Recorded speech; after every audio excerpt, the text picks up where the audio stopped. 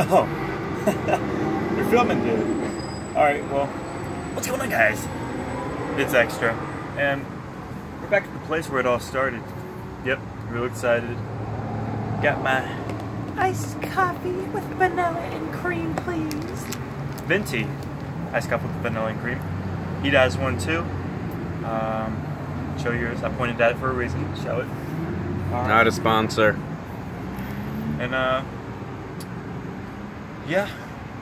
It's time for Coffee table talk, guys. This is your boy Jonold. Uh, today's topic is coffee. Everybody loves it. Most people drink it. Most people can't live without it. Me. Um, I can drink it iced. I can drink it hot. We're pretty much just going to talk about all different types of coffee. Is it all basically the same, or is there differences? And not just including flavors. We're talking is there different grounds, like how they can breed, you know, other things into things make things, you know. Um, but stay tuned. We're just gonna talk about it. You know, what we like about it, what we don't like about it. Should you add sugar? Should you not add sugar? Should you add cream? Should you not add cream? Should your coffee just be coffee, or should it have other crap in it? You know. Uh, stay tuned, and you know. now.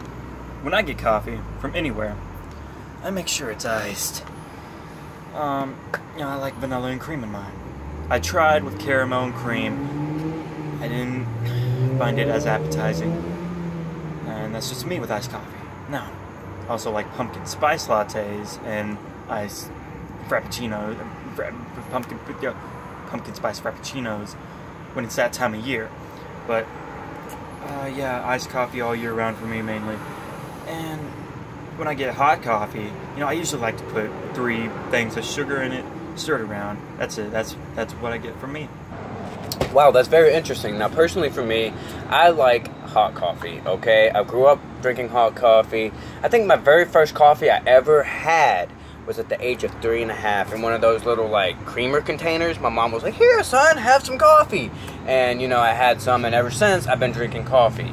Yes, I'm probably gonna die at the age of thirty, uh, but you know, that's for another story, another day.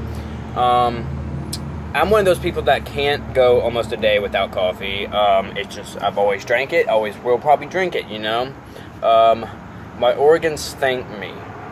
Um, but just recently, my boy Extra has gotten me into iced coffee. Not a sponsor.